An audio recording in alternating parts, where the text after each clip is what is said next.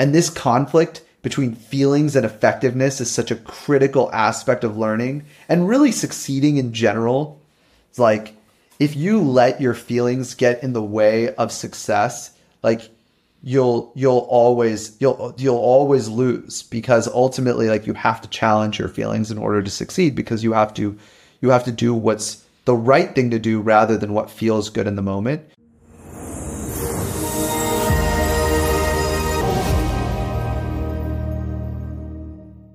Thank you for coming on the show, man. I really appreciate it.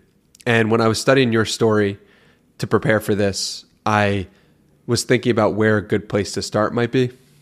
And I figured that writing for TechCrunch would be the place that that really makes sense. Why did you start writing for TechCrunch and what did you learn from that experience?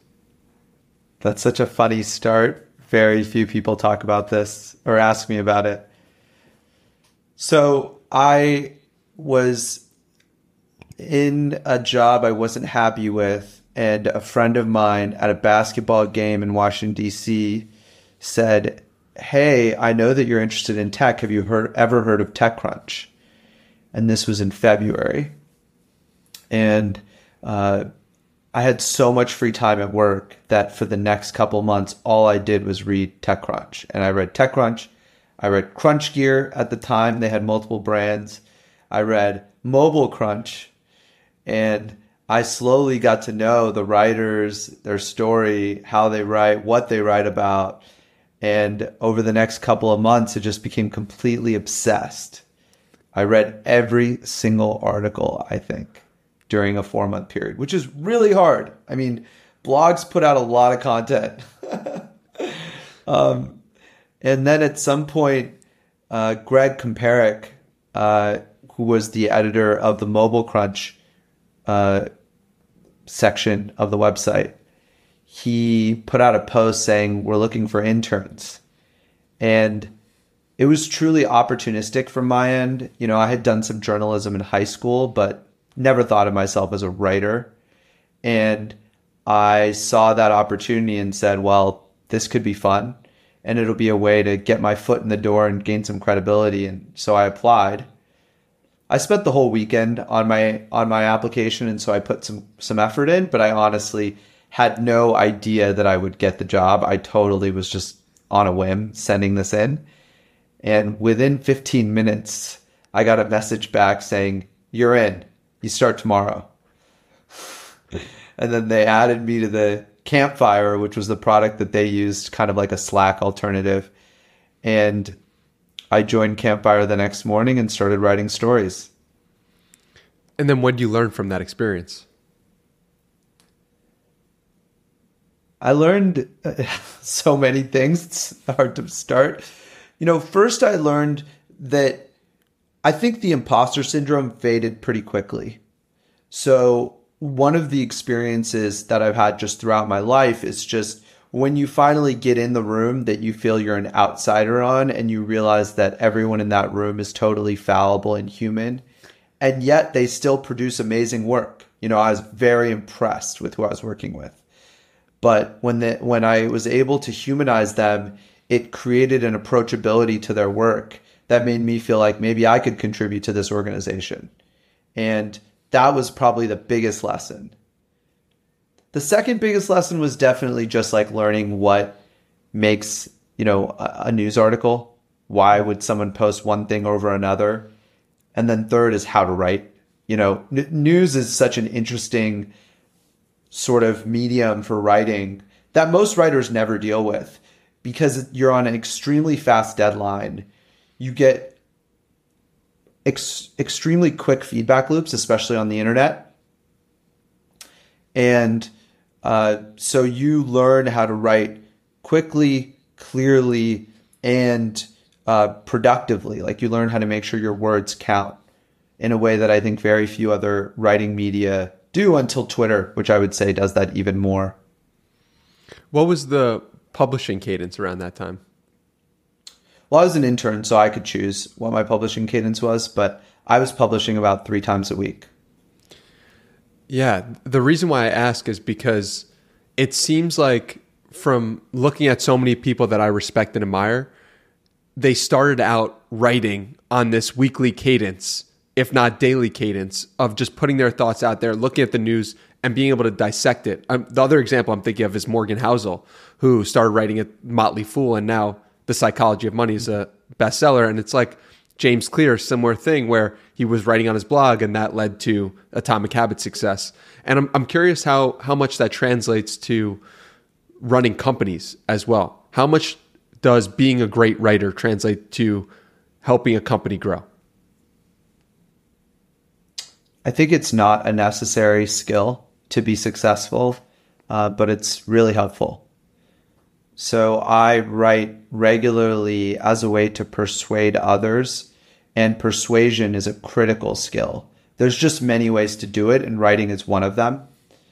Uh, so writing everything from cold emails to memos to raise money to memos about the company's trajectory and where it's headed to gain alignment within the organization, uh, writing as a form of feedback via Slack. These are all ways in which you utilize writing in a super highly leveraged way in a company. But I would also say that you don't need to be an expert. It's just a really helpful skill. That makes sense. And so when you're looking at and working at TechCrunch, are you you're forced to look at the technology issues of the day, the news of the day, where we're going? Was it around this time where you started looking at it and be like, "Oh, there there's a space here for online education?" It happened at the same time, but I don't think they were directly related. Hmm. I think I was just throwing everything at the wall and seeing what sticks and I was simultaneously, you know, in TechCrunch writing again as an intern. So I had a full time job throughout this time, and I was also uh, in the Founder Institute, which is a startup incubator that I joined, and we were basically building, uh, trying to build a company. So the company idea, I think, came more from my personal experience. Uh, in high school, I started an, uh, an in person learning company, like a summer camp, and I have always had a really significant feeling about school. and like huge fan of certain things about school and a huge detractor about other things about school. And so I think my interest in online learning has a lot more to do with just my personal journey than it does with writing for TechCrunch or MobileCrunch. Mm. But I'm sure that the fact that I was writing there gave me a lot of credibility as a potential founder, credibility I did not have before that. And it gave me an insight into what clicks for VCs and for reporters.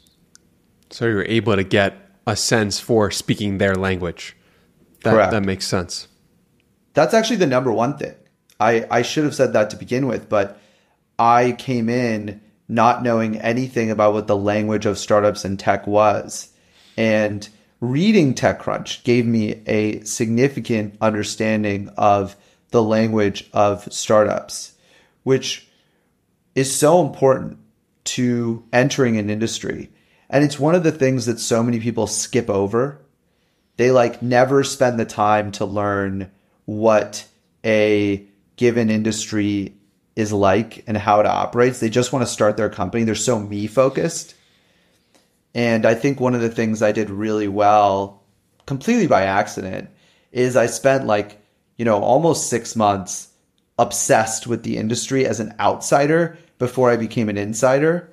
And so by the time I was attempting to be an insider, I had all this institutional knowledge that I just gained from free content on the internet. And then I spent another you know year attempting to use that knowledge in various ways, failing constantly, and then finally got to the point where I could articulate my own thoughts and my views on what you know Udemy was going to be or what what its potential was to the point where people actually took it seriously. Why were you so obsessed? Just personal interest. There's no other.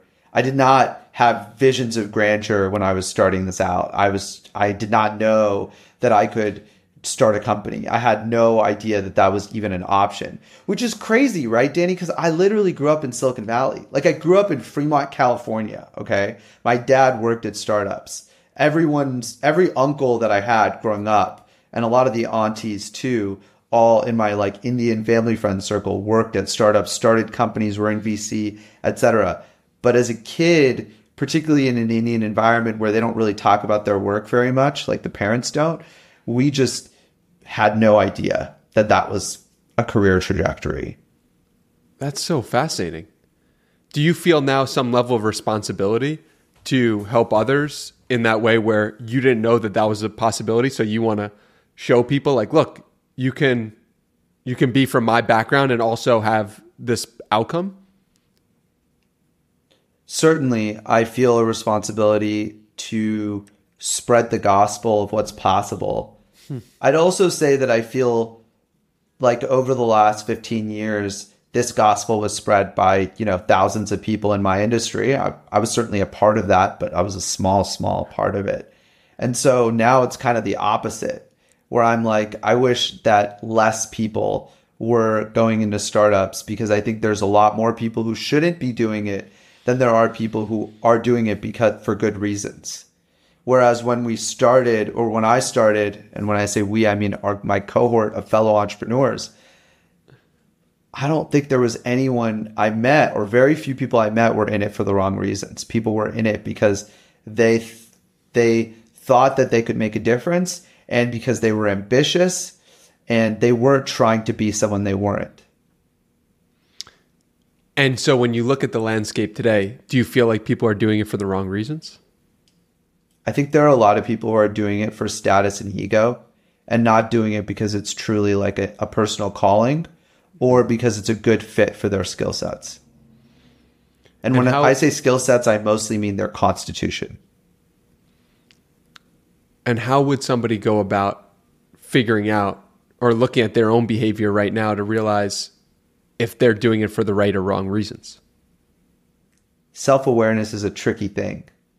I don't know how to teach someone how to be more self aware. I can just tell you what the conditions are for what I've seen in successful founders. And then each individual person has to assess for themselves whether or not they're really in it for the right reasons. But me even pointing out that there are people in it for the wrong reasons is a message that someone out there might hear and think, oh, yeah, that's me. Or that's not me, and it might give them more confidence to move forward, which is equally powerful. What were the reasons that you started Udemy, and what were the underlying reasons that you weren't conscious of in that moment?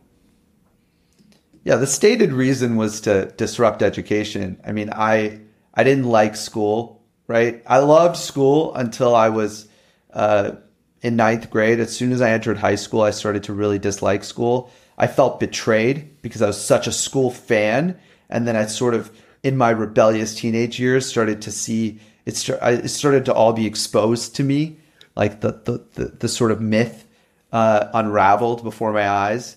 And as it did, I became deeply passionate about trying to improve the system. So that's why I started Udemy. That's the ostensible reason. But the reason underlying it was you know, I think a deep feeling of not being good enough in the sense that I always thought I was better than what other people would assess me at. Mm. I think that's still true today for what it's worth. I still feel that way. When I was a kid, I always felt like I was smarter than I was getting credit for. I was better than I was getting credit for and probably sometimes I was right and sometimes I was totally wrong. And I just had a, a, a, inflated sense of ego and self. I totally get that.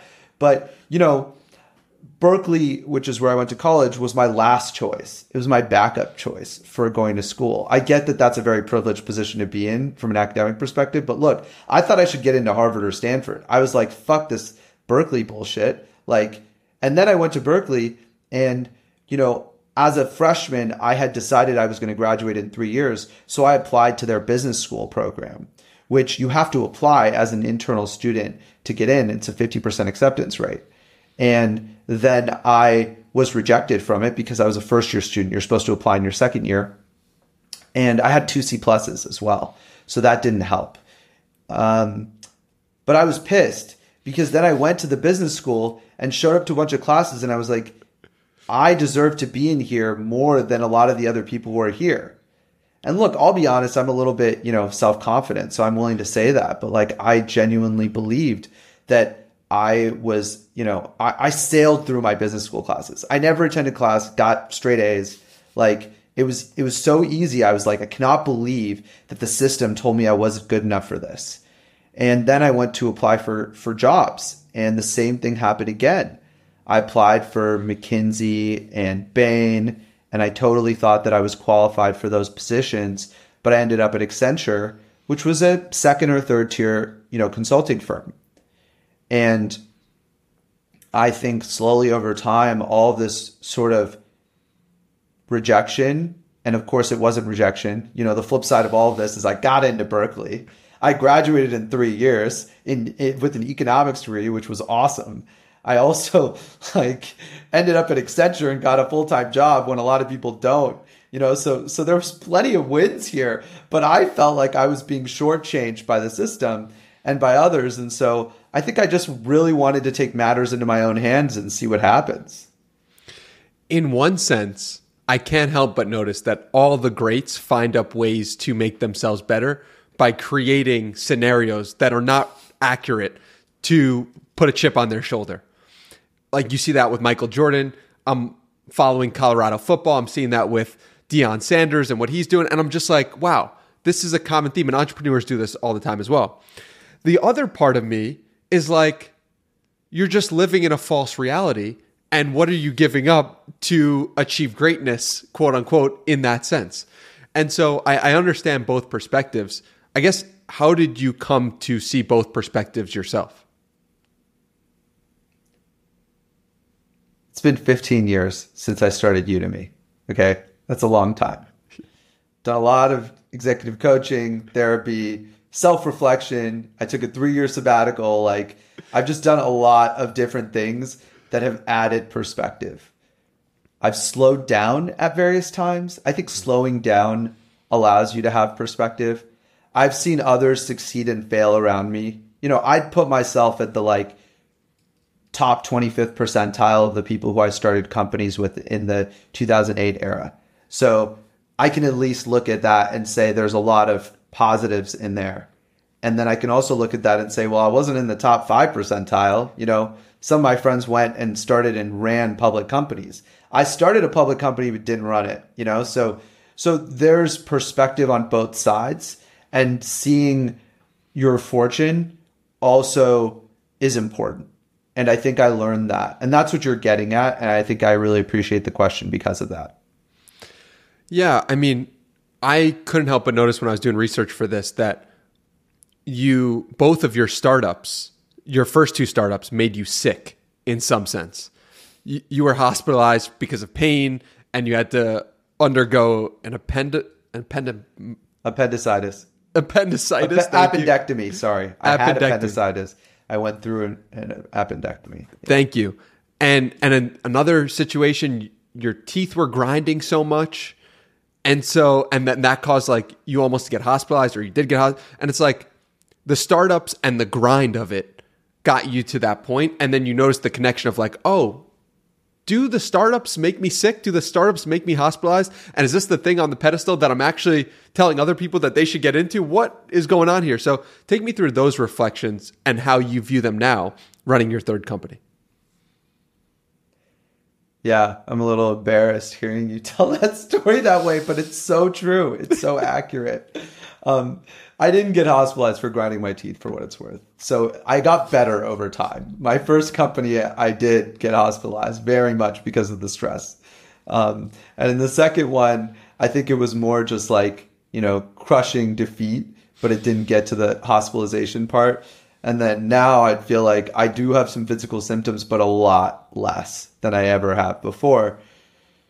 So that journey was very much a yeah the physical manifestations give you another moment of pause where you start to realize like wow i really feel like i I'm one of those people who puts it all on the field, you know? And I think that it's fair to say that there are people who do that and do great things. You know, you use Jordan as an example. Jordan put everything on the field. You know, I was just watching The Last Dance for a second time a few weeks ago, and it's crazy how much he put into that. But then there are also people, honestly, who are a lot more calm, I think, um, and who can do great work without all the stress. And I think slowly over time, I've, I've been trying to transition into that because, you know, you can't be doing this in your and I know this doesn't sound very old to a lot of people, but I'm in my late 30s now and I'm I'm staring down the idea that I'll still have this job in my 40s and I'd really like to have a healthy family life and still continue to do great work. So I've really improved on on this physical manifestation of work thing, but it definitely gave me a number of wake up calls. How has your definition of greatness evolved? you know, when I started my career, there was only one goal. You know, once I got into Udemy, there was only one goal to take it public. At that time, I didn't even think it was possible that it could go public without me being there. but I would say that implicit in that goal was that it would still be there when it went public. Um, and, you know, now I think I'm much more willing to accept the deontological side of how I build companies rather than simply the ontological side.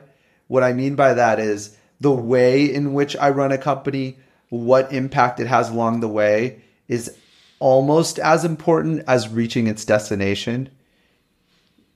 And that has really freed up my mental clarity and calm around building companies. Who have you looked to in this time as role models?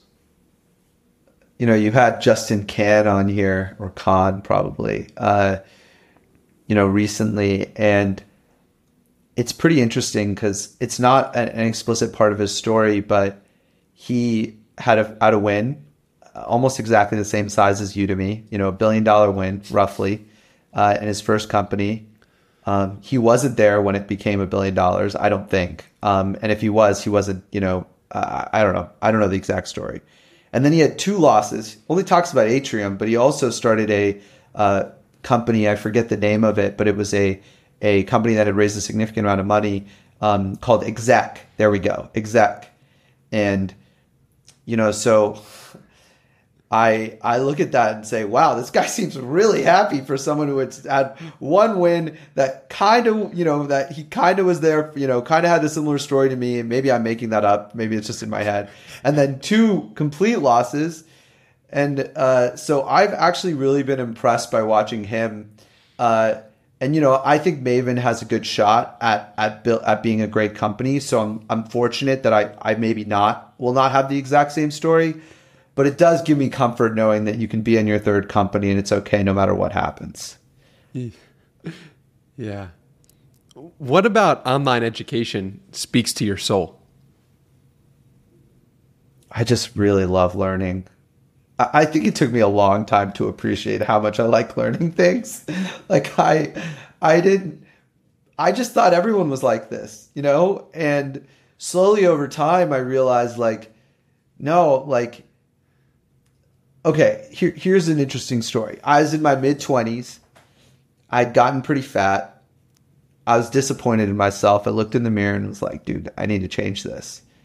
And I was I was newly single, which is a catalyst for getting fit.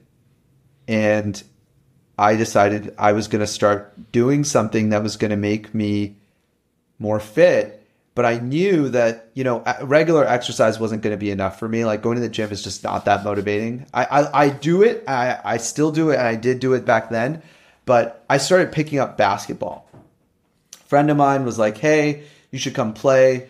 You know, we play every Tuesday mornings at USF, University of San Francisco, and so I started joining this game, and I started playing in this game, and every single week I was the last pick Hmm. And mind you, there were septuagenarians, 70 year old players on the court, and I was being picked last.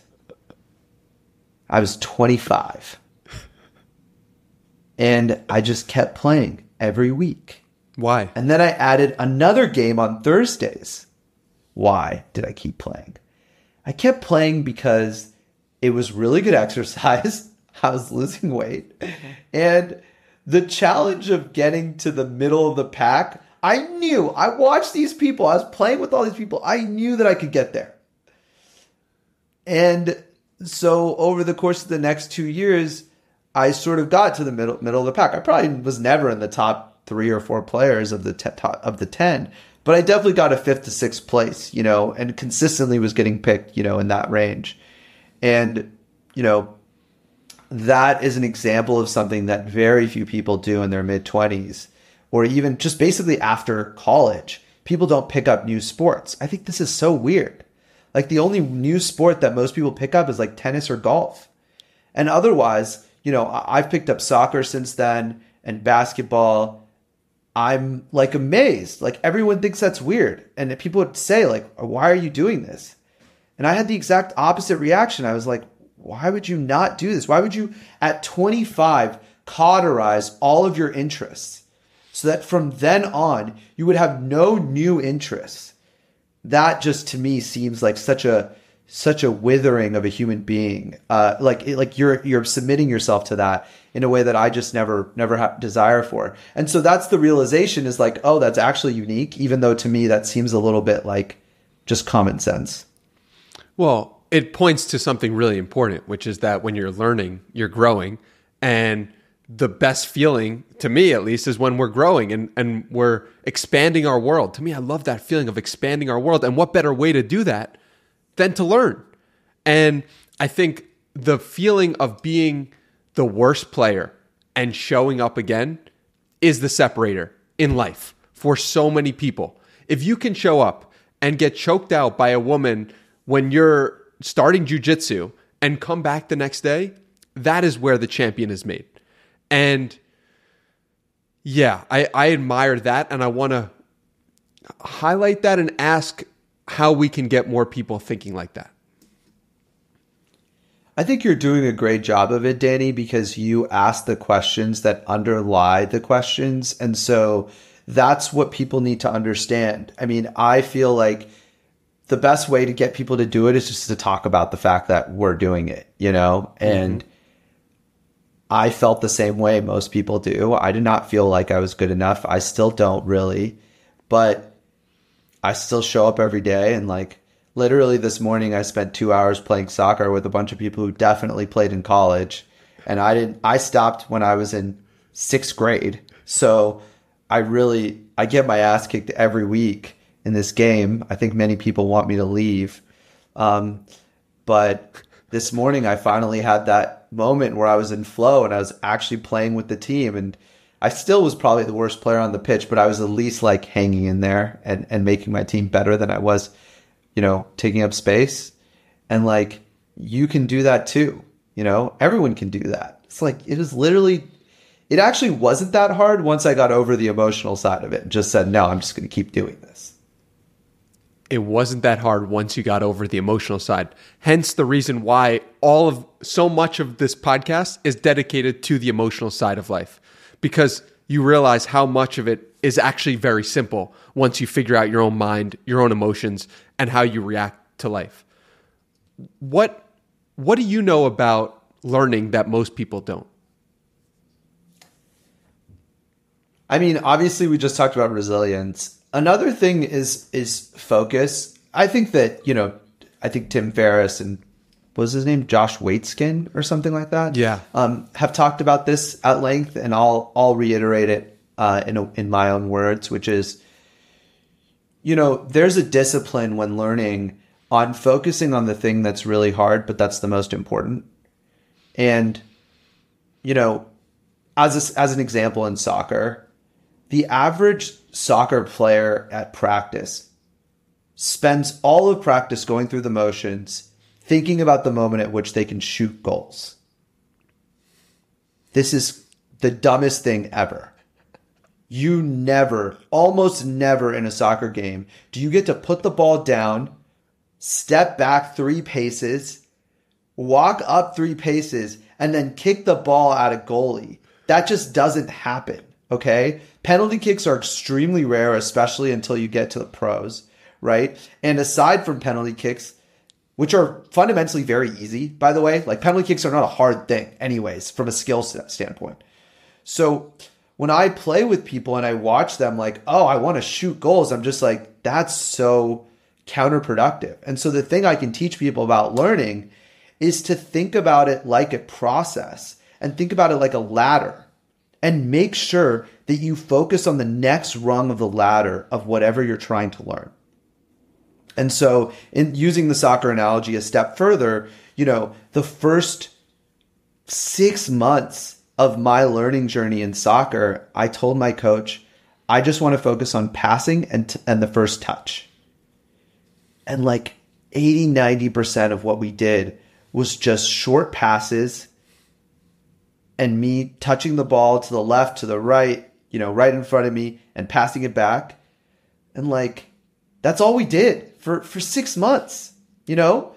Um, and so I think that's, it, that can work. That works in so many different ways. There's so many, you know, things you can learn in which if you just start with the fundamentals, and it's like boring, right? On some level, like, like literally passing the ball back and forth you know the level of precision that you're eking out every every practice is so narrow. You're going from like passing it you know 15 degrees to the right to the left right? Think of like a little bit of a, a width there of where i'm passing to like you know 14 degrees to 13 degrees to 12 to 11 to 10 all the way down to the point where you're actually getting the pass at the exact spot at the speed that you want you know and you're able to retrieve it if it gets back to you and you're doing one touch passing, etc.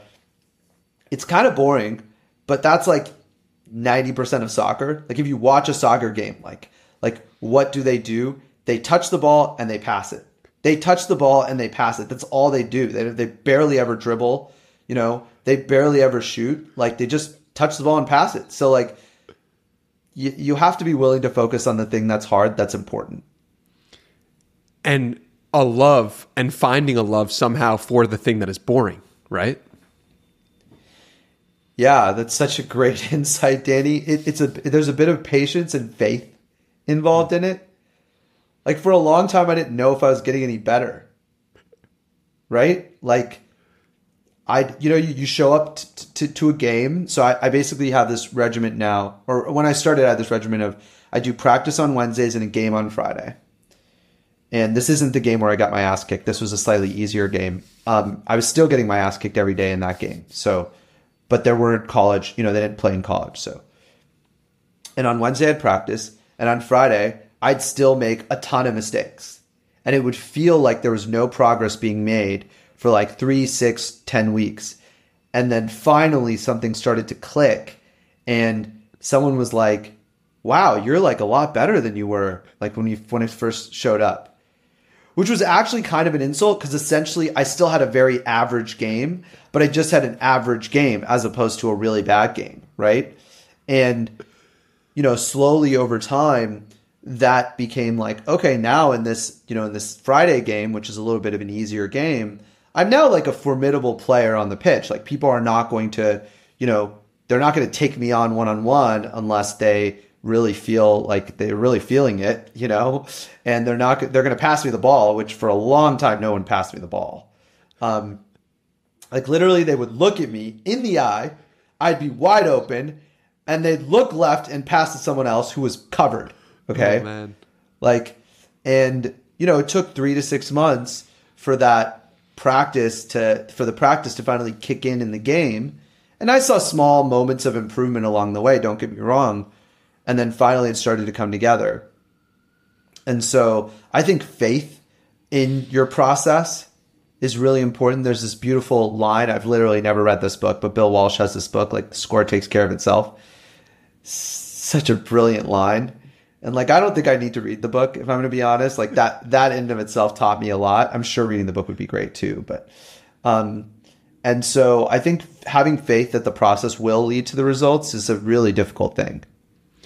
I think you need evidence in your own life of that happening previously. And for me, I didn't even believe that learning or growing was possible. But then I started lifting weights and started seeing the manifestation physically and being like, oh, I see how X equaled Y. And I can see how I, if I apply that to other things, that will also lead to results.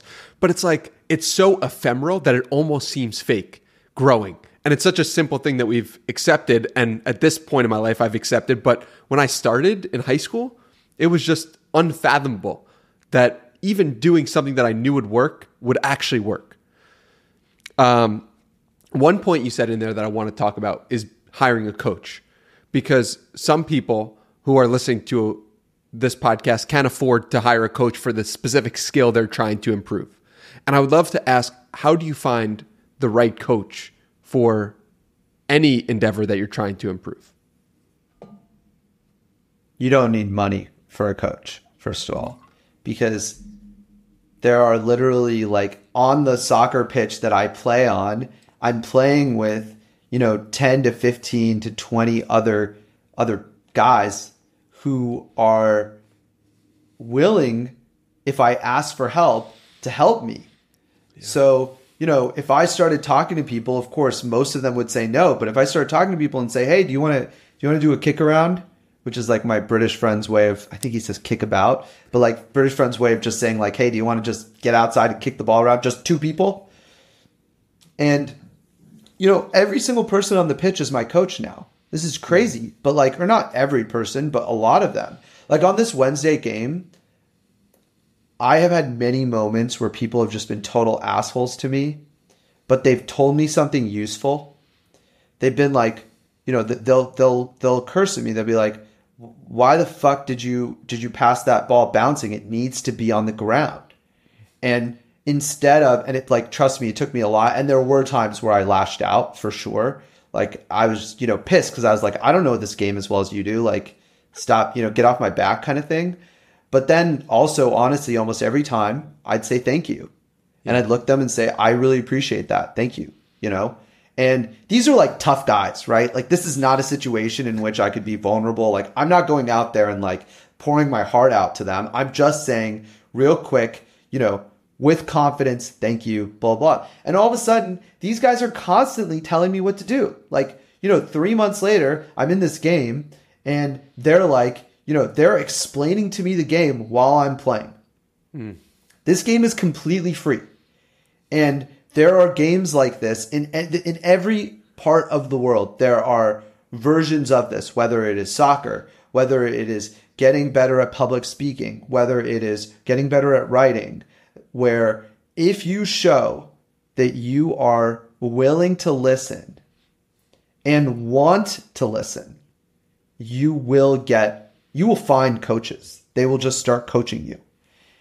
And uh, you know, another thing that's interesting is like I started this coaching one on one, and my coach over time was like, look, one on one's great, but you need other people to join you because I can't, I can only teach you so much when it's just you and me. And so actually now my coaching is not one on one. There's like four or five people who come to this coaching, and some of them pay $25 a session, which if you live in a big city, you can afford. Um, it's like, you know, going to a gym, it's like going to Soul Cycle. It's cheaper than Soul Cycle.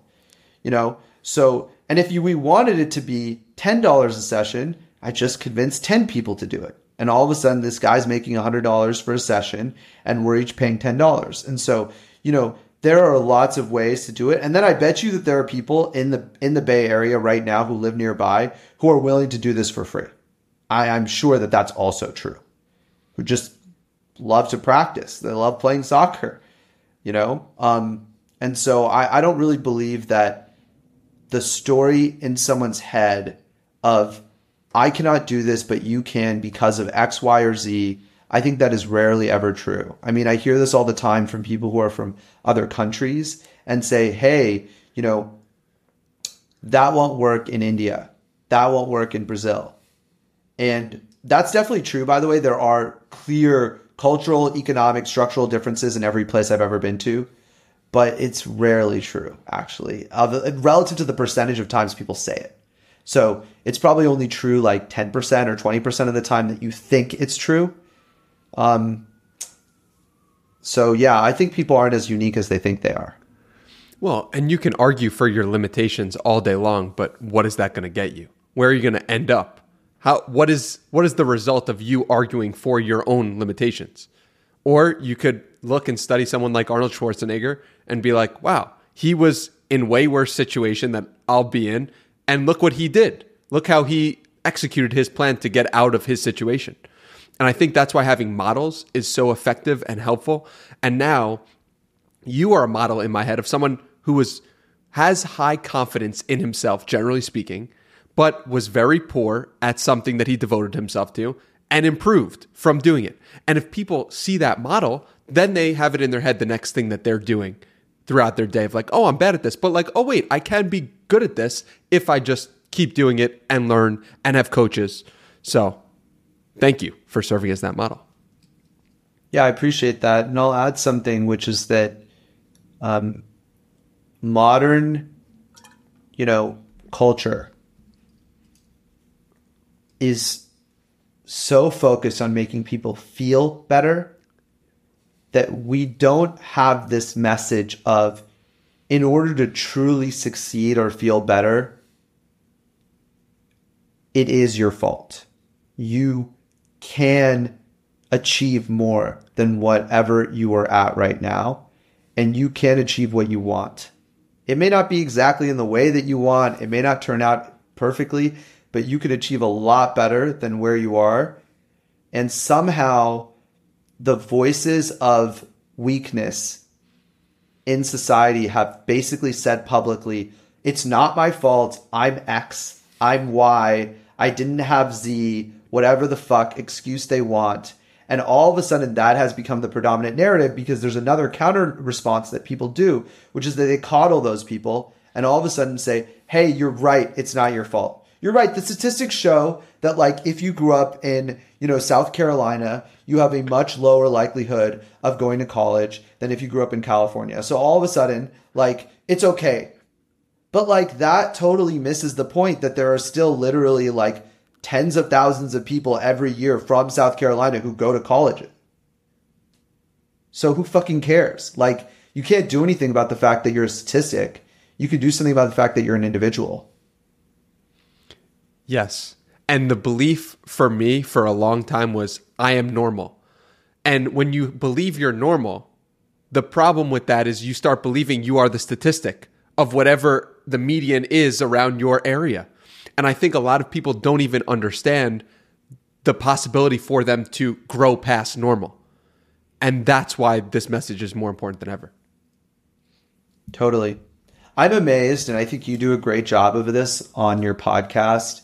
Um, but I'm amazed at how many people came from all sorts of backgrounds and ended up succeeding. And I think that's like one of the missions, I assume, of your podcast is to show different stories so different people can resonate with different stories. And so I would say that there's always someone out there who has been in your situation who has succeeded. They were totally ordinary or they were often subordinary when they started their journey and they eventually figured out their path. And I think for me, that's actually been really, really motivating. I've seen a lot of those stories, I've studied them just like you have. And that has really given me comfort that, you know, it is possible. You had a great post on your blog, which you talked about going from nobody to somebody in Silicon Valley. And you gave four steps. The four steps were one, observe and copy, two, take shots, three, find your edge. And four, fake it till you make it. And I thought that that makes sense in this environment and talking about this because if you want to grow past what you are currently doing in your day to day life, you might need to follow this playbook of one, observe and copy, two, take shots, three, find your edge, four, fake it till you make it. I love it. I don't even remember writing that post or did not know it existed at this point. It's just kind of a hilarious admission in and of itself. So when you when I repeat back those words to you and we and you want to go to a, a different place right now. Let's say you you're like, you know what? I'm done with my company. Um, I, I'm done with the startup world. I'm done with soccer. I'm done with everything I'm doing. I want to start an instrument. I want to start playing a new new instrument. What are the first steps to becoming excellent at playing an instrument? The first thing I'd probably do is buy an instrument and I'd put it somewhere where I like had to pick it up if I or I'd feel ashamed of myself. Like funny enough, like one of the first things that got me into tennis, which I'm playing now, is the fact that I was with some friends, uh, my company offsite, and my colleagues were like wanting to play tennis, and I wanted to join them, and I just like went and bought a racket. It was thirty dollars, right? It's a cheap racket. Uh, my tennis, I just got a tennis coach, and he's like, dude. This racket's really cheap and you need a new one, but like whatever, it was thirty dollars. How much does that? You know, that's one session at Soul Cycle, you know, um, or Barry's Boot Camp or whatever. And so I, I bought it, and now I have a tennis racket. Now I'm like, okay, so that'd be my first step. Um, I'd buy a guitar or a piano or whatever. Uh, probably if it was a piano or keyboard, I wouldn't put the money in, but I'd buy like like lessons or, or something like that. I'd do something that committed myself for a little bit of time. I'd probably start telling people that I'm learning it or I have an intention to learn it. I don't tend to lie. I don't act like like when I was first playing soccer, I was like, "Oh yeah, I've been starting to play soccer, but I'm still trying to figure out how to get into it." I said this at a at a cocktail party, you know, like um and the guy uh the guy I was talking to, I probably said this to like 10 different people. The guy I was talking to then said, "Oh, my neighbor loves soccer. You should connect with him." And then the next day, I followed up with that neighbor and we started playing soccer. And now we play every single week together, multiple times a week, often. Um, and so that would be the next step. I'd get lessons. Uh, I'd also listen to a lot of music mm. from that instrument. I believe in full immersion. You know, there are two different ways to learn language in high school. And I think one is just patently wrong but a lot of people act like it's acceptable. And then another one is like the only way to learn language, which is total immersion.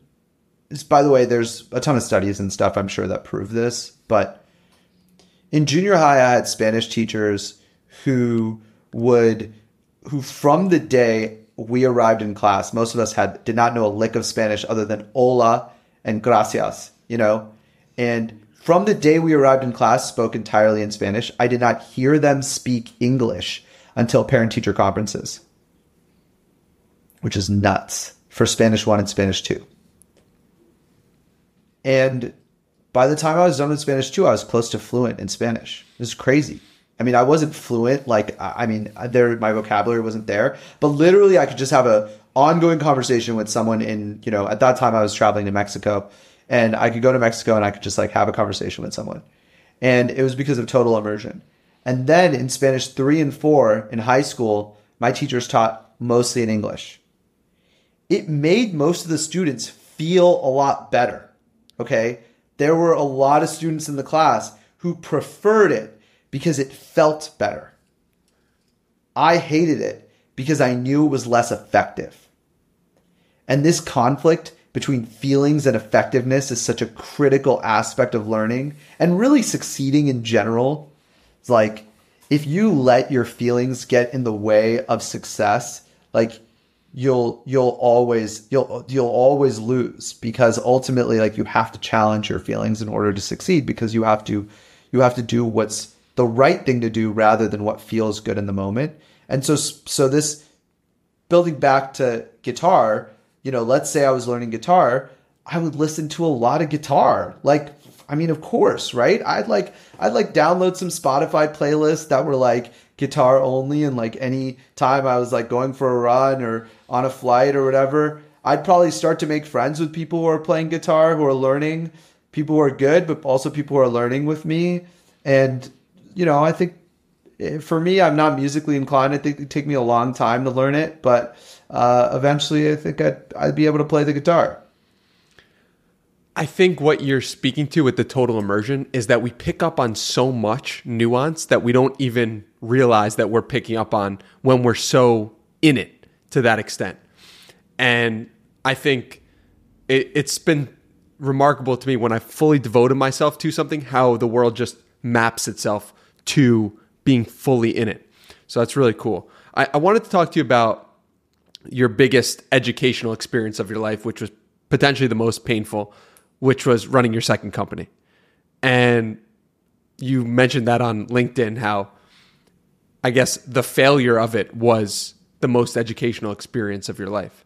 What about the failure or what about the way it worked out was unexpected that led you to feel like you grew tremendously from it? Yeah, just to clarify, I think it was the biggest professional learning experience of my Thank life. You. I would say that there was plenty of personal things that were probably more impactful, but it's a great topic for conversation. You know, you learn a lot about yourself when you push yourself to your limits. You learn what you're good at and what you're not good at. And at, at, at my last company, um, which was called Sprig at the time, um, which is now a different company, so which I'm actually an investor in, which is fun. But um, you know, when when I was running the food delivery company, I realized how bad I was at operations. Um, I realized that just because I had a vision of something didn't mean that it was right fit for me.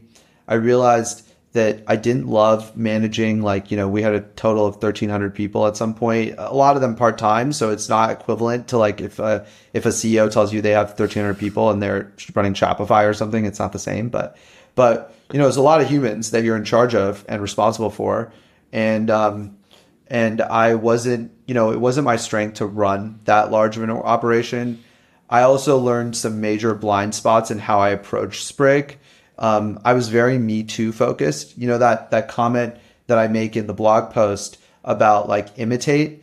Um, you know, uh, I think it was observe and then copy. You know, sometimes that can go too far, right? Mm. You you have to observe and then integrate and then copy, mm. because if you truly just copy what you see, you'll often apply it incorrectly in a new situation. And so at Sprig, we tried too hard to be a little bit like Lyft or like Amazon or whatever. And like, we weren't just Sprig. Like, our strategy wasn't just like, this is the first principles best thing to do in this market. Um, I learned how easy it is to fall into the trap of venture capital and like, you know, raising too much money really is a huge problem. And I think people you know, there's so much success and the news cycle is so focused on raising venture capital. Lots of people talked about this, but it's just so real that once you raised, you know, I think we raised 60, somewhere around $60 million. You know, once you do that, you have very limited options for what you can do with your company.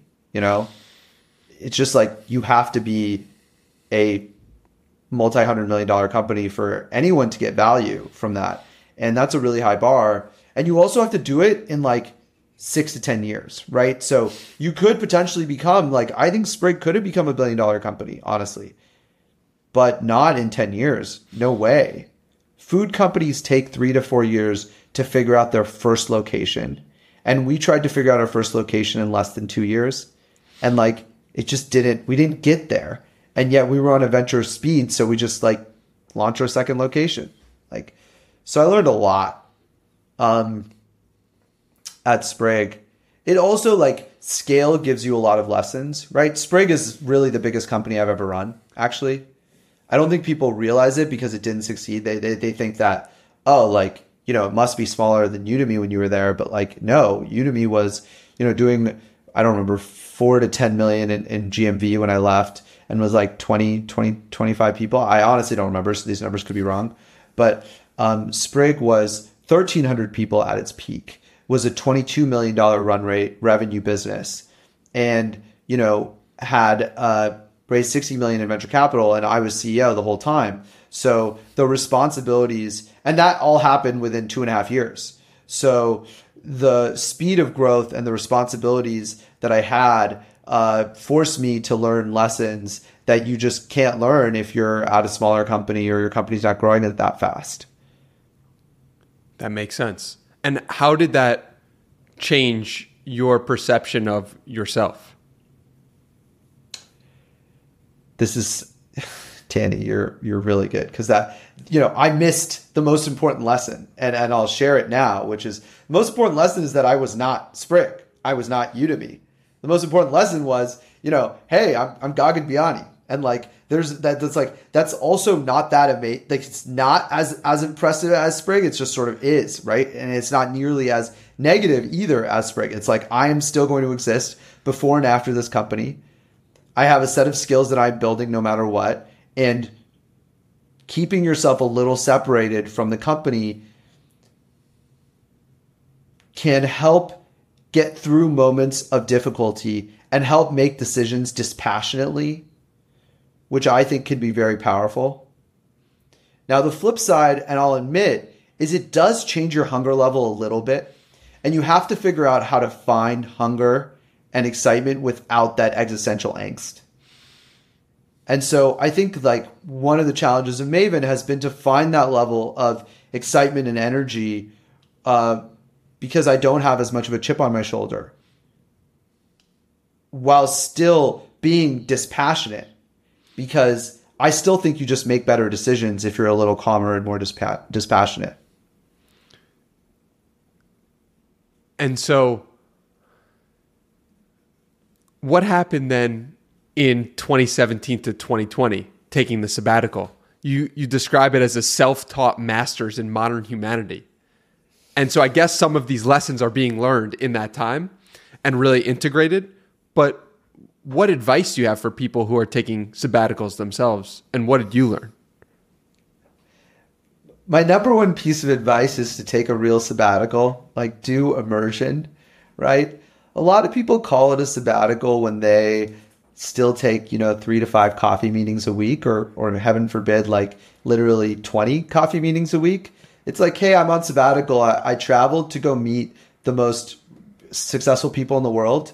And I was like exploring a new business idea. I'm like, no, that's just your job. Like, as a CEO or a founder, being in between and exploring an idea is part of your job. That is part of the time that you are putting into the company. Just because you're not getting paid doesn't mean you're not doing your work. Those things are completely separate, anyways, because you don't really make much money as a CEO. You only make money when you exit, anyways. So equity value is if equity value is being built, you know, which it is during the discovery phase, then you're working. And so my first recommendation is to take a real sabbatical. I mean, if you can, and that that is a moment of luxury less about money, honestly. I met lots of people who were on sabbaticals who were pretty poor, um, but more about luxury of personal circumstance, right? If you have family that needs you, if you have, you know, kids, like these things make it a lot harder. And so I get that.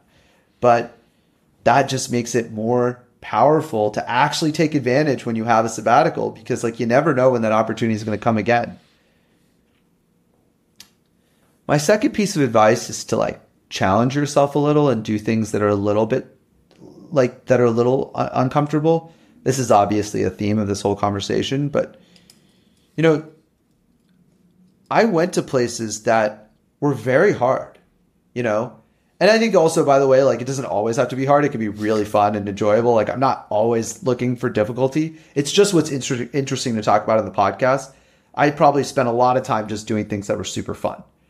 But a lot of that fun came because I was willing to be uncomfortable for a little bit. Being alone is extremely uncomfortable for anyone. You know, for you, it's not uncomfortable for me. For me. Fair. Yeah. Um, I, I would still say the type of aloneness that there are types of aloneness that would be uncomfortable for you, Danny. I, I mean, if you take anything to the extreme, but I there are very few people who are sitting by themselves for 60 minutes every day just with no phone, no laptop, completely unplugged. And when I tell yeah. people that, they're uncomfortable by that thought. But to yeah. me, that is enjoyable. I am best friends with my own mind. So I, I totally get that. I've done a fair amount of meditation myself. And um, maybe, maybe, I mean, ch- challenging you may not be the right, right thing in this moment, but a, a conversation for another day is, I, I do think that there are many things about travel that might, that would, would push anyone. Uh, yeah. you know, it, you could be alone by being uh, with other people, but being with people who are of a very different income level than you, and spend time with people who are literally at the poorest end of the totem pole in, in, in the world, and that might make someone feel uncomfortable uh, in aloneness. Um, and so, I don't mean alone like literally just like with your own thoughts. I mean alone like in a place that seems hostile to you. Like when I was in Havana, Cuba, I honestly thought the place hated me. Like I, I, I thought they didn't. I thought that it, wasn't built for people like me, and um, that was a form of aloneness. There were people everywhere, and I was talking to people all the time, but it was a very difficult place to be. And yet, I learned so much from being in Havana. I spent a month there, so that that was a big part of it. A couple days is very different from a month. Were you seeking out the difficulty, or just seeking out difference of experience? I think just seeking out difference and willing to accept that difficulty might be part of it. I don't think, I think that's also the other thing. Like, I, I just wrote a tweet about this, which is kind of funny because no one read it. It's like clearly did not go go viral. I think it's probably one of my more profound comments. But you know, I I I wrote this thing that basically says, you know, a lot of people overuse therapy, and you know, your question made me think of that. It's like you know, you don't need to do difficult things just because they're difficult. I don't want this conversation. I don't want people to come away from this conversation thinking, oh, I should just do hard things and like, rah, that's awesome. It's like, no, I just do whatever's necessary. I'm dispassionate about whether or not it's hard or easy. You know, if it's easy, great. Like, there were many things that I did. Like, I went to Antarctica. Was like pretty easy, right? It's like a, you go on a beautiful boat, like, we drank wine every night. Like, yeah, it's cold as fuck, but like you wear layers and like it's all good. It was just super fun. Extremely powerful experience. You know, extremely powerful. Um, and so I would say easy hard is not relevant. Um, just interesting and different is important. And interesting and different sometimes means, you know, pushing through what's hard. And what do you learn about yourself from doing all of this work, let's say? I developed my own personal identity that's separate from the identity of work, separate from the identity of my family context, my friends, separate from, separate from like my entire life to that point, you know? When you travel alone for that much time, you're able to have so many fresh new experiences. I'll give you an analogy.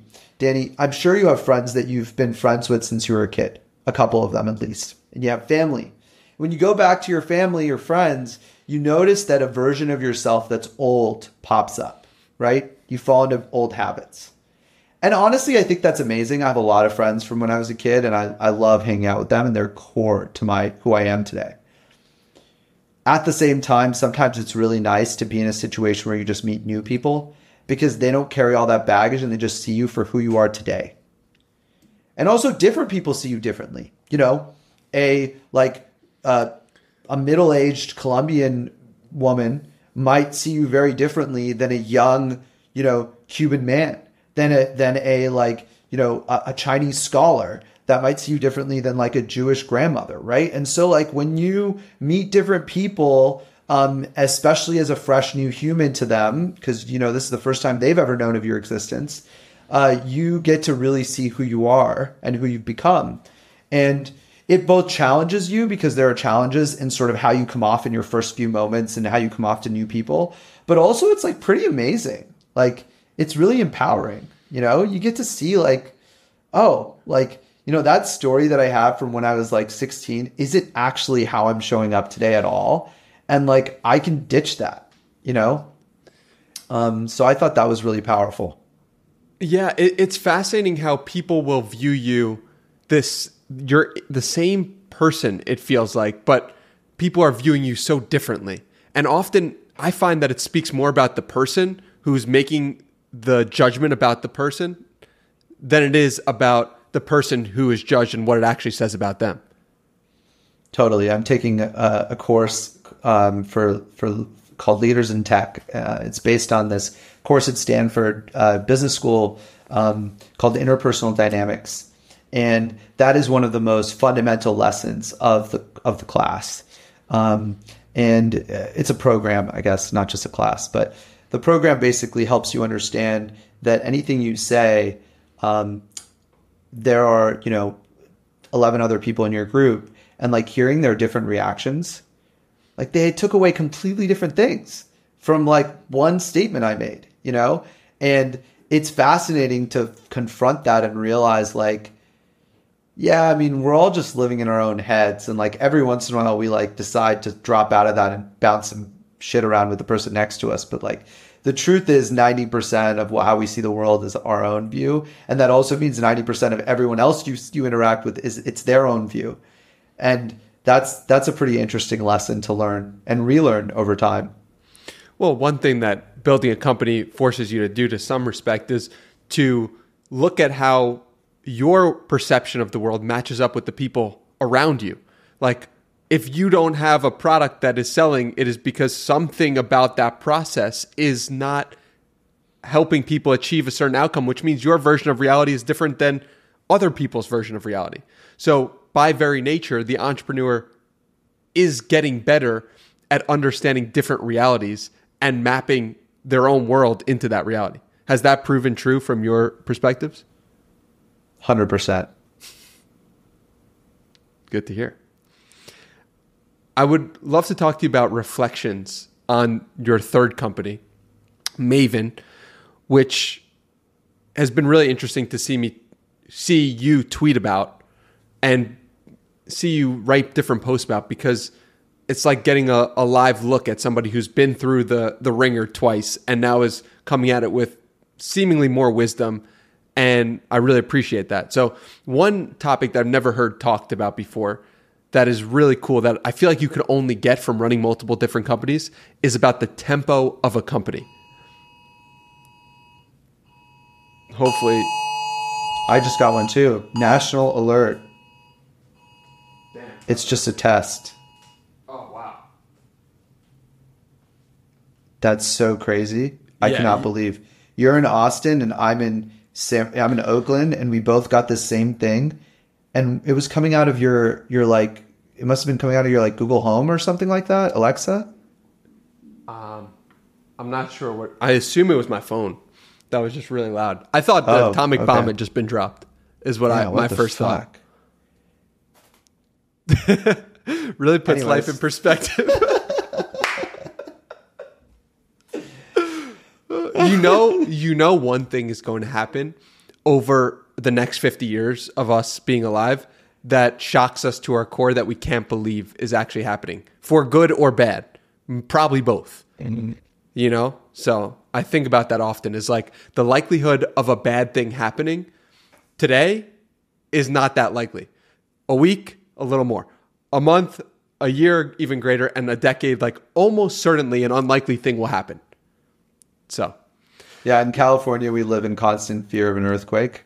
Yeah. And it's very, very subtle, right? Because you barely think about it on a daily basis. But you know, it very much is part of it's it's it's a it's a it's a manifestation of what you just described that is more certain and more clear than like a, an atomic bomb or AI taking over the world and hacking everyone's computer systems or whatever. Like, no, an earthquake has already happened in the past. It will happen in the future. You have no idea when. You don't know how catastrophic it's going to be, and it could literally like destroy your home. You know, um, so I know I know that was just a way to relate to what you just said. Um, and obviously, earthquakes are nothing like the thing that would shock us. I mean, there are things that are going to shock us much more than that. Yeah, but I was talking about tempo of company. Yes. clearly more important than the atomic bombs or anything like that. But I, I really found it fascinating you talking about the tempo of companies because you said Sprig had a daily slash weekly heartbeat, Udemy had a monthly heartbeat, Maven is a quarterly heartbeat, and this has profound effects on how you run the business. There are a lot of entrepreneurs listening to this who are thinking about their own heartbeat now of their own company. How did you come to this realization, and how does that impact how you do certain things? As an entrepreneur, I think almost every entrepreneur has this experience, especially if you're a consumer entrepreneur. You're literally every day like refreshing your daily sales, right? So like I'm always looking at the sales of both Maven as a whole, but also a bunch of our instructors. And I'm just like looking at their sales and seeing how they're doing, making sure they're doing well. And it, I have slowly over time realized that that has a big effect on how I look at the business because I always want the business to give me feedback loops that are quick. You know, hey, we put something out and in the next week we see whether it worked or not. Social networking companies are like that. They have millions of users, they ship a product, and you basically know within, you know, 50 uh, you know, 50 minutes, 15 minutes you know, an hour, maybe a couple days, a week, you know, the results of that experiment. Um, and, you know, at Sprig, that was true. Uh, you know, within a week, we'd sort of see the results of a lot of our experiments. Um, and the company basically like had growing revenue every week. So like every week we'd grow. And, you know, for, for two and a half years straight, basically, we grew almost every single week. Wow. Maven is like literally like in a lot of ways the opposite. It's still a be it's still a consumer company. You know, we sell to consumers. But our average instructor is going to teach a course like 3 to 4 times a year. So, and it takes 3 months or so to build a course and like put it out there and sell it and get to the first, you know, starting point. Now, we've tried to make that 6 weeks, 6 to 10 weeks, but it's still short. And it's still long, I mean. And so anything we do, like let's say we do something in January, we may not see the results until, you know, 50 to 100 of our instructors go through one or two cohorts, which might take anywhere from six weeks to six months for, for enough data to, to show up, you know. And so we often find ourselves doing something one quarter, thinking it didn't work because we're paranoid and like want a quicker feedback loop. And then two quarters later, we look back and like, wow, that was like the most impactful thing we've done in the last in the last nine months. And that has happened so many times. So the way that affects the company is, you know, we talked about faith earlier, faith in the process. At Maven, we've had to be much more faithful to the process and we can't experiment as much. We have to just drive with conviction, and hope we're right. And then we have to keep doubling down if we feel like we're happy with the early signal because the early signal is super noisy, but like we get some signal. And it's been very interesting to see a company that's on this cycle. Now, I would assume that there are B2B companies that are on annual cycles. You know, they sell to enterprise. It takes six months to a year to build a relationship and actually deploy and get it get a contract out or whatever. I cannot imagine that. I don't have the patience for it. I don't think. Maybe one day I would. But and actually Maven will eventually have to do that. So at some point I will have to find the patience for that type of business. But for now we're on quarterly or even like semi-annual sort of cadences. And it really affects how you look at the numbers, how you think about the business, what strategic decisions you make, how much how data driven you are versus how intuitive you are about decisions. And it's really forced me to to be a lot more intuitive about how I make decisions because I can't just throw out an A B test and find out whether I was right like 2 weeks later. It just doesn't work that way at Maven. Well, it's a good thing you have the experience from the previous two companies to hone that intuition. Um, I also would love to talk to you about like you forgetting how difficult or stressful it is. you mentioned the the first one of the first things you said was this was way harder and more stressful 3 years into it than I remembered it being. And if you if you think about like you're a smart guy, like how come we don't remember the things that are difficult and we have amnesia? Why is that the case? it's an evolutionary benefit that of just like every human deals with some level of challenge or trauma or difficulty in their lives and if they responded and became you know scared every time that happened they would never be innovative enough to get to figure out how to get over it and one of the things that's made humans so successful is that as we have had challenges we have eventually figured out our way out of them. I think about like somehow I have an image of a deer in my head. You know, like deer are the classic animal that have the opposite evolutionary traits. You know, when they are, when anything smells of danger, their instinct is to fight or flight every single time. And of course, I'm sure that someone who's a biologist would tell me a lot more about deer. I don't fucking know.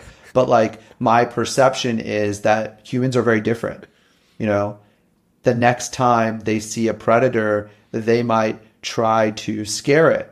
The next time they see a predator, they might try to run. The next time they might try to, or I should say, we might try to, you know, build a weapon. That first weapon didn't work. All right, we're going to try a second weapon. Oh, that didn't work. And like, keep in mind that all this is happening. And like, each time most of these people are dying is like how it happened, right? It's like most of these people died. And so the people who had the wrong answers, like slowly over time, died. And then there was like the more innovative person who kind of figured shit out and they succeeded, right? And, you know, we don't have that kind of evolutionary, um, you know, life or death reality anymore. But on a business level, we do. You know, businesses have this level of evolution. They die and they succeed. Um, and on a like individual level, like we still do a lot of like s- small deaths, right? Like giving up on something versus like continuing on or innovating our way through it. And so I think it's really powerful that we forget how hard it was when we failed because it allows us to then put the effort in again to overcome that. And that's how we move forward and that's how we create progress. Yeah. If we forget how difficult something is, it gives us excitement because, it's like, oh, wow, I don't even remember how difficult this was, so I'll try again.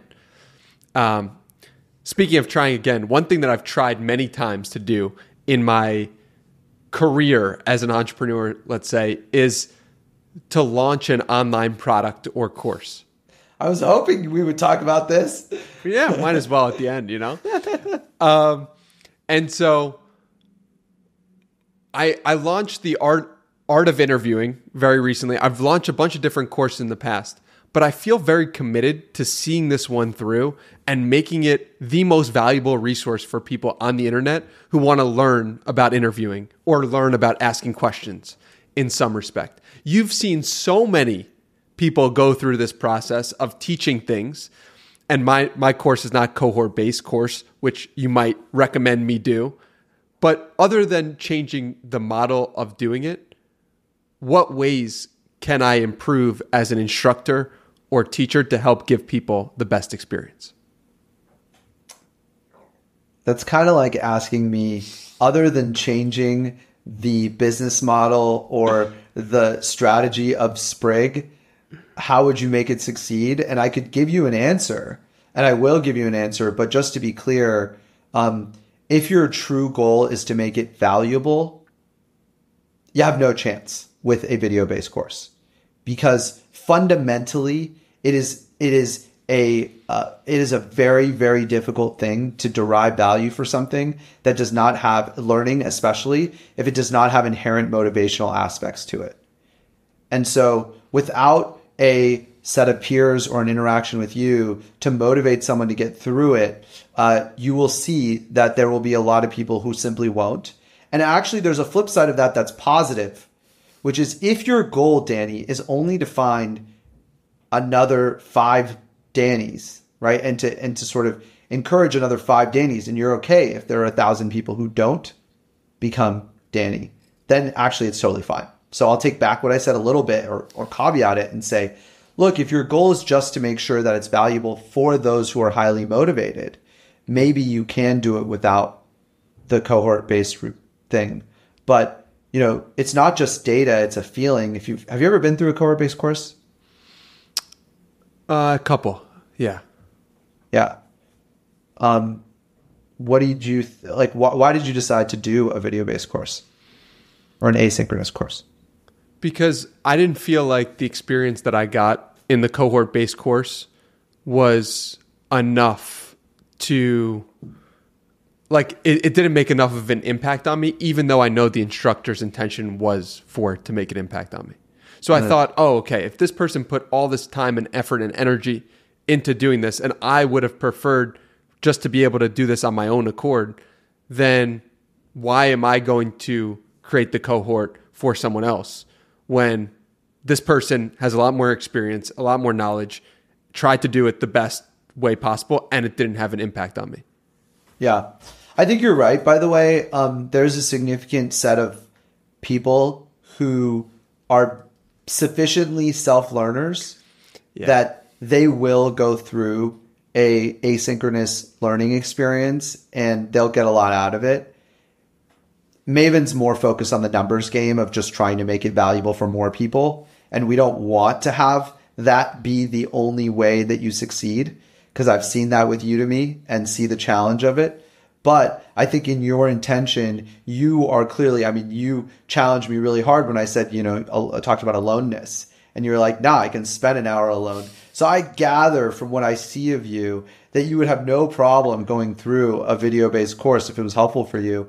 And I think that you can make it incredibly valuable. The thing that I would do is layer in some of the motivational aspects, anyways. So I haven't looked through your curriculum enough to really give you a lot of feedback, but an example of a thing that I would recommend you do is make sure that you encourage people to practice the art of interviewing and not just listen to how you do it.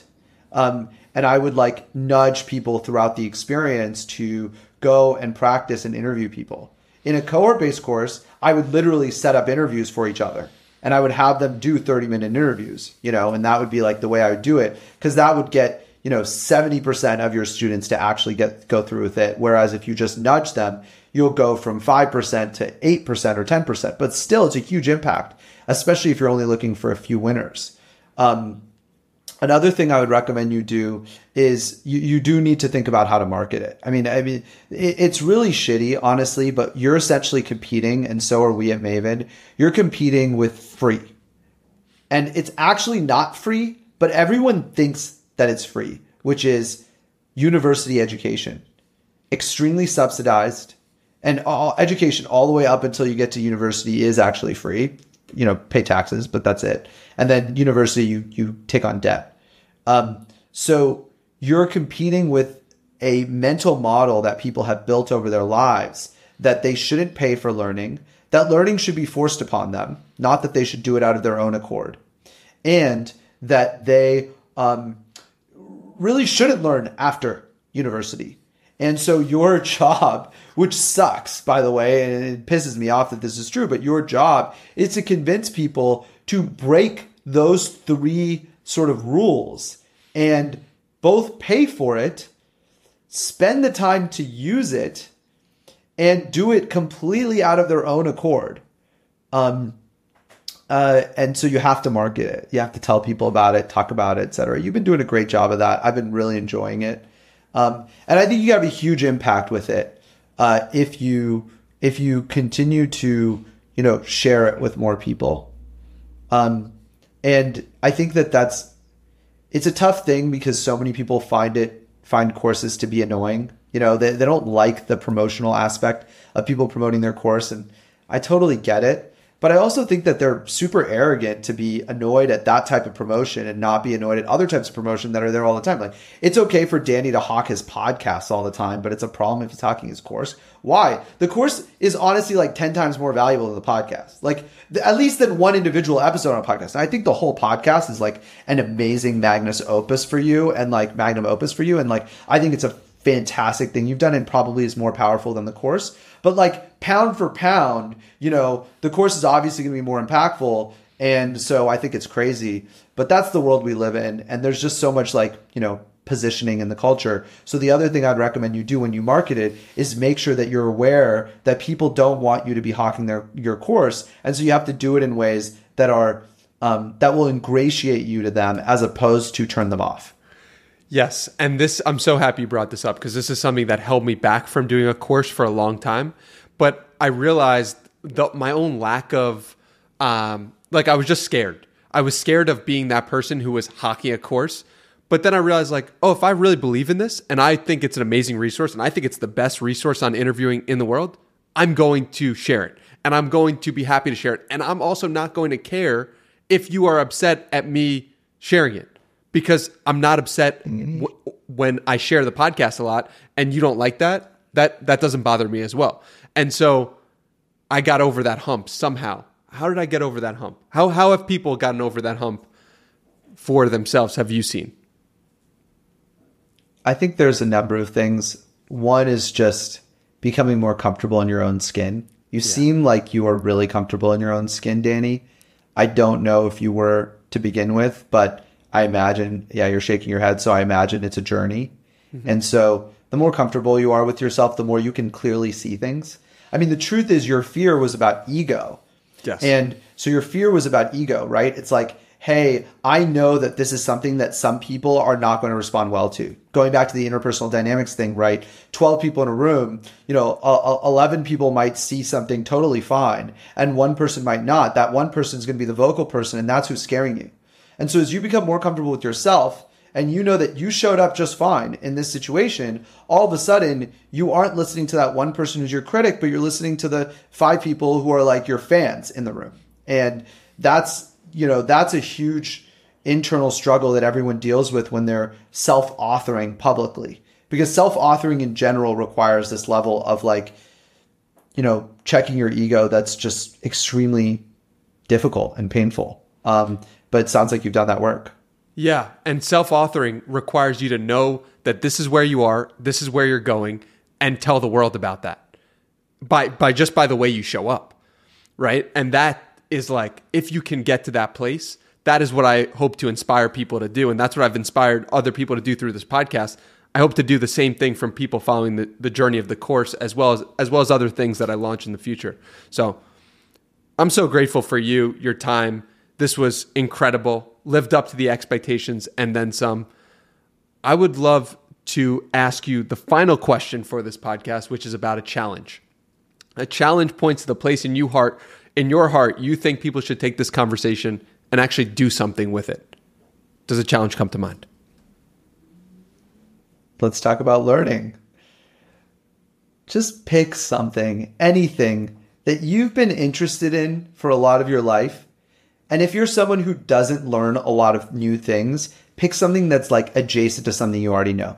Okay. So, like, pick something easy, but also something that's a little uncomfortable and just try to give yourself like six months. Okay, six months in your life is nothing. All right, six months is nothing, and and embark on a misadventure to figure out how to get better at that thing. And you know, we've talked about a lot of ways you can do that in this podcast. I think there's probably other ways that I haven't even thought about, but whatever that thing is that you want to learn, and remember to to to go and try and learn it and practice it. Okay? Because you have to learn you have to learn the new thing and then you have to go try doing it and then you have to you have to learn again and then practice. So learn and practice a new thing. I challenge anyone who's listening to this to pick up something, you know, a hobby, it could be a professional skill, whatever, to just go and figure out how to learn the skill and get better at it. And if you get better, like, man, I would love to see you in my DMs or in Danny's DMs. Danny, please forward them to me. But I'd be so grateful. That would make me so happy. Um, and I'm happy to answer questions about it, you know, uh, as well. If you're struggling with something or you want advice on something, you know, I'm happy to help. I think the six months piece is so key. And I, I tell people you have to commit to it for three months. That's you're not actually trying to get better if you're if you haven't done it for three months. So let that be the barometer, the metric six months for you. And definitely send me a message if you are in the pursuit of something and working towards it, or afterwards. I would love to hear how that went for you. Send me a DM or you as well. And where can we send people to send you that DM? I'm on uh, LinkedIn, Gagan Biyani, and Twitter at Gagan Biyani. It's pretty easy. I, I mean, as long as you're listening to this and my name's on the on the on the title, uh, you can just you can find me on either of those. I'm I'm I read all my DMs, um, but I don't always respond. Uh, just depends on whether or not it makes sense to respond or not. But I read every single one, so I'll read it for sure. And you also have a hot take that I'm I'm not letting you get out of here with, which is I think LinkedIn is better than Twitter for most professionals. Don't tell anyone I over there that I said that. Why is that the case? The content's just mostly better, honestly. Mm. Twitter has a lot of garbage content that's mm. really annoying, and you sift through it, and every once in a while you have good stuff. On LinkedIn, like it's the opposite. It's like mostly signal. I'd say that like the best stuff on Twitter is better than the best stuff on LinkedIn, but the average stuff on LinkedIn is better than the average stuff on Twitter. So I'd sort of amend my statement or add to it by saying that I think on average LinkedIn is better. And so if you have a habit, I'd rather you have a LinkedIn habit than a Twitter habit. But if you can appropriately sift through what's on Twitter, um, it is true that some of the smartest people say some of the most brilliant things on Twitter, and they don't. The, the smartest people don't go onto LinkedIn.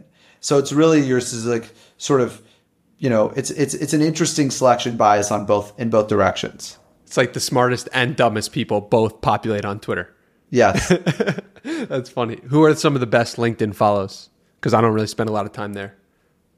But if you were to check, it's so inter- it's so industry specific that like I don't even feel like I should share. You know, people I like to follow. Um, Allie Miller is a big Maven instructor and someone I've been following for a while. I think she puts out pretty good content on AI. I don't think you really need anyone else. Um, you know, uh, I've been impressed by Elena Verna and Brian Balfour over at Reforge, even though they're, you know, they're in the same space as Maven. I've, I've loved them. Um, I I personally think that I, I put out some content that I think is interesting and resonant with people. So I hope people look at my, my profile. Um, but you know what's funny about LinkedIn? Like I don't even have a specific person that I read. I just read, I just follow a lot of people and I just sort of like see what they post. And I think it's pretty good.